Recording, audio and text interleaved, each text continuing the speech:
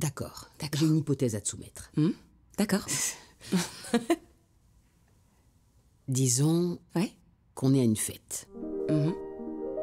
Il y a du Maxwell qui passe. Je l'adore. Tu me connais pas. Je te connais pas. Et je te propose un rencard. Tu dirais oui?